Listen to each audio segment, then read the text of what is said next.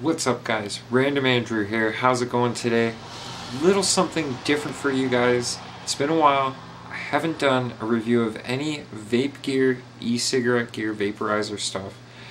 I will say this right now, disclaimer, this is not for the younger viewers, though there's no swearing, cursing, or anything. This is a review of a e-cigarette product, a vaping product, so some might hold it closer akin to smoking. No, there is a legal age for use of e-cigarettes, vaporizers in whatever region or district you live in. I'm not going to say which one because I know everybody watching is from somewhere different. So please check into that and note that all everything to do with this is regulated and governed and you got it by the government, but when it comes down to quality products, it's always by the users or either somebody in the vape shop able to inform you about it. In which case, today, I picked myself up one of these. It's by Innokin, Innokin, and it is called the Plex. I'll dive right into it, we'll unbox this, and then I'll check it out in front of you guys. I won't say it's going to be the first time, because I'm going to want to give it a little bit of use after I fill it, and kind of get a feel for it before I say what I think. Now before we get underway with unboxing this and setting it up, it's kind of something I haven't done in a while, so I figured it'd be really interesting to show you guys, but show you my current setup, and right now, first thing I'm going to point to you guys, point out, if I can get a focus, is you'll see around where the atomizer meets the vaporizer, you can see a little bit of e-juice sitting there. I just recently wiped it down. Not to mention, this is what the coils currently look like. Can we get some focus in here? Hang on. Doesn't help that my lighting's totally... Yeah, for some reason, things just don't want to cooperate. Anyhow, these are standard Clapton coils. I'm still using... Oh, what's the name of that cotton? I don't remember the name cotton. Damn it, hang on.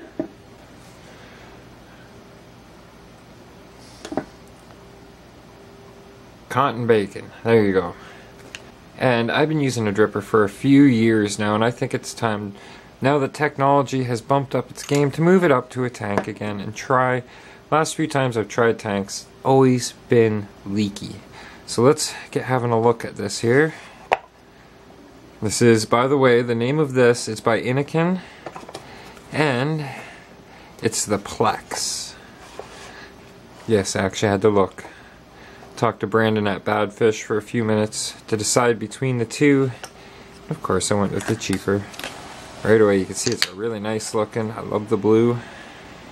It's kind of like the blue, the discoloration, right when certain metals get to a certain temperature. Let's attempt to focus again. Yeah, my lighting isn't helping me any bit right now. But what sold me on this isn't the design or the style necessarily the tank. It's the coil style. I've never had one like this before. You guys see inside of there? Get a good focus going again, maybe?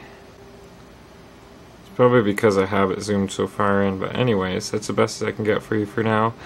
It's a different style of coil altogether.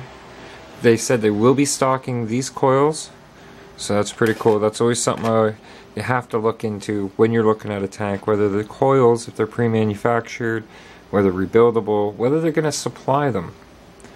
So right away you see nice big reservoir top opens up. I haven't even played with this yet, so bear with me. Is a nice slide top, and it's nice and like it's got some good resistance to it, so it's not going to accidentally slide open. Nice big airflow. Same with the airflow. Not too stiff, but it's not too loose. Uh, easy adjustability. So filling, adjustability is pretty easy. Disassembly comes apart just like so. Oh, it's got a different looking coil in there right now. Can you guys see that alright? Get this glass out of the way glass is just pressure fit in the bottom, but of course as soon as you thread it all down it all comes closer together. Pretty groovy. So it's got a triple coil to start with, and this one it says Scion 0.13 ohm, 82 to 110 watt.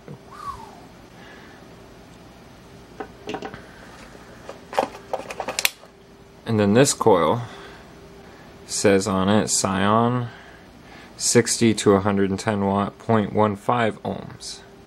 So they're a bit different, not just in construction, but ohm range. And then I imagine just, just as easily unscrews, but I'm not going to take it all apart like that right now. And then reassembly. And the same size top and bottom. Yeah, okay. Pressure fits, kind of stays in place. And then she threads all back together, no cross threading. Nice and snug. And that's about when I fill it up.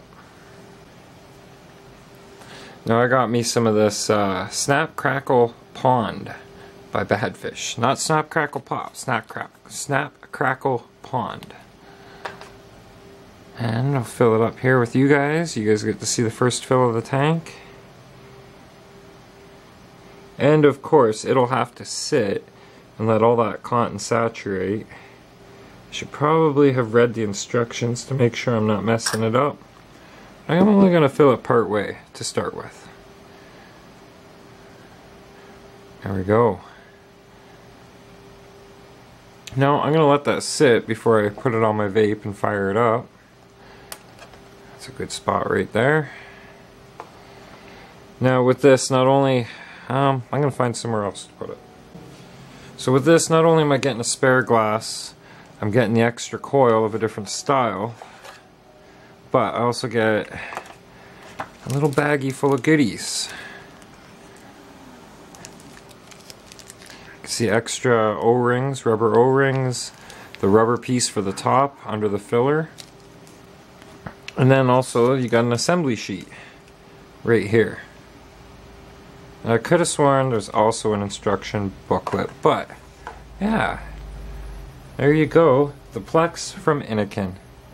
Well, as you guys seen, I filled it about halfway, and this is about how much I've vaped out of it so far. I'd say about a quarter of a tank, maybe an eighth of a tank through it. Check this out.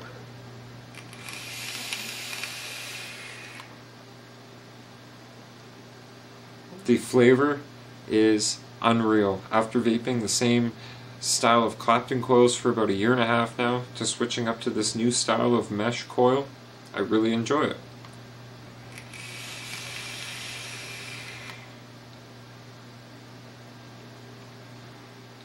Mind you, I'm only at 60 watts and this coil calls for higher. So, and yeah, just so you guys know, I'm using the IPv3Li and my batteries are kind of weak. So going up to the full recommended setting, my batteries are dead in no time. But even at 60 watts, this thing is awesome. I like it. I think I'm going to like this as preferred to a dripper. It's going to be cleaner. So far no leaks. Cross my fingers. That's why I avoid tanks normally. But I like it. One more, one more haul just for the camera.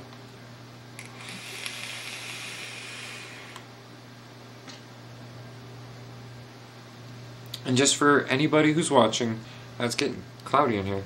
Anybody who's watching who is unfamiliar with these products, know this is not something that gets you high or gets you stoned. It's a safe cigarette alternative.